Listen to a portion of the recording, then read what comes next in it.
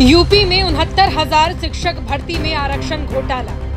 Himachal Pradesh constable भर्ती परीक्षा में पेपर लीक। एमपी में नर्स भर्ती परीक्षा 2023 और प्राथमिक शिक्षक पात्रता परीक्षा में पेपर लीक। यूपी टीईटी 2021 में पेपर लीक। यूपी पुलिस सिपाही भर्ती परीक्षा में पेपर लीक। यूपी समीक्षा अधिकारी परीक्षा में पेपर लीक।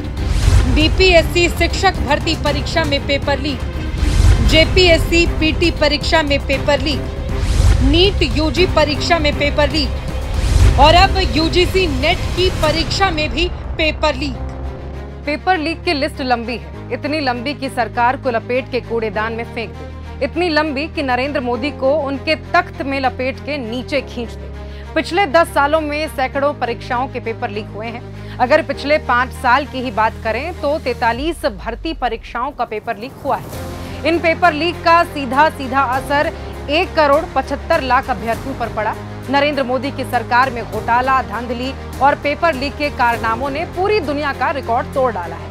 नरेंद्र मोदी की सरकार अब पेपर लीक के मामले में Guinness book of world record में भी अपना नाम दर्ज कराने जा रही है। ये सच्चाई और साथ में देश के साथ एक भद्दा मज़ाक भी। उस देश में जहाँ युवाओं की आबादी सबसे ज़्यादा पैंसठ फ़ीसदी है, नरेंद्र मोदी की सरकार पेपर लीक और भर्ती परीक्षा में धांधली करके युवाओं का भविष्य चौपट कर रही है। क्या आप एक मिडिल क्लास परिवार में पल बढ़ रहे युवा का दर्द महसूस कर पाएँगे? दसवीं के बाद कोचिंग कोचिंग में मोटी फ़ीस, पिता ज़मीन गिरवी रख के अपनी संतान को पढ़ाता है। परीक्षा होती है और फिर पेपर लीक की सूचना आ जाती है।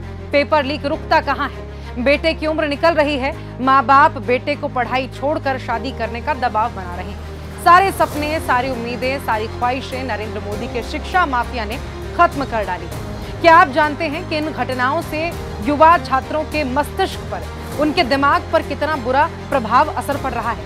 हर आत्महत्या की खबरें आती हैं। ये दर्द पीएम मोदी और उनके मंत्री नहीं समझ पाए नरेंद्र मोदी की पूरी कैबिनेट अपने बच्चों को देश से बाहर पढ़ा रही है। उनके बच्चे सरकारी स्कूल में नहीं पढ़ते, केंद्रीय विद्यालयों में नहीं पढ़ते, देश में होने वाली सरकारी परीक्षाएँ नहीं देते।